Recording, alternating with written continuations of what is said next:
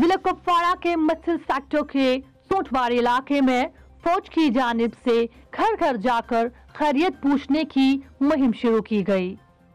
इस मुहिम में फौज ने इन दूर दराज इलाकों में घर घर जाकर लोगों से खैरियत पूछने के साथ साथ ये भी यकीन दिलाया कि फौज हर वक्त इनकी मदद करने के लिए मौजूद है।